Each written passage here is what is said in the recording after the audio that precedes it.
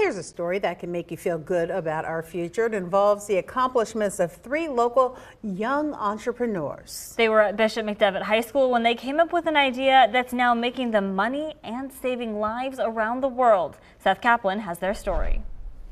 In some ways, they had an ordinary high school experience. We had some nefarious friends who would uh, go to the bathroom and, you know, do what they do in the bathroom, you know, smoking like e-cigarettes, vapes, stuff like that. But these three? Lance, Jack, and I, we all started um, a STEM club at our school. STEM, science, technology, engineering, and math. They entered a competition. We were given like a budget of $500, um, and we came up with the idea to, you know, create what's called a vape detector. Aesthetically, probably the worst thing you've ever seen in your life, but uh, it, it, worked, which is cool. Um, so we went to that competition, got third place. Pretty good for most people in a statewide competition. Not for brothers Lance and Garrison Parthamore and their friend Jack Carissi. They kept working on it. One of them like holding my laptop up and then me maybe holding the sensor up in the ceiling and them like squatting down so we can kind of get like an accurate range for like how high it would be to the ceiling.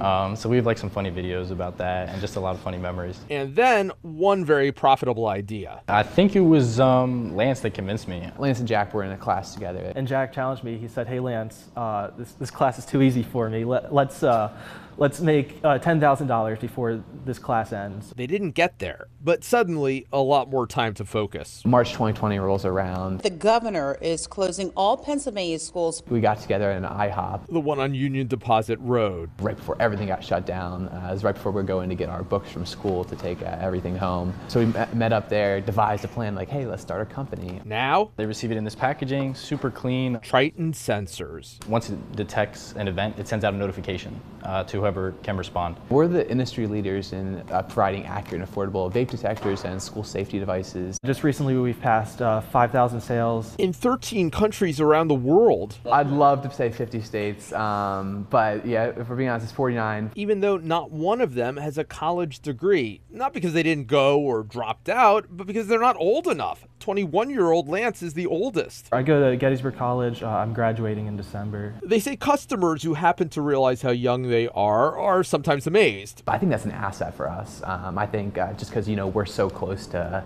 being out of high school and we know exactly what it's like. So I think it gives us a key uh, competitive advantage to stay on the like, cutting edge of things. More of a business success than they ever imagined, although one thing from their days in the STEM club hasn't changed. The goal for us has always been to help end the vaping epidemic in schools schools. It just didn't take long to get there. It's like we skipped right to our 30s. In Harrisburg, Seth Kaplan, ABC 27 News.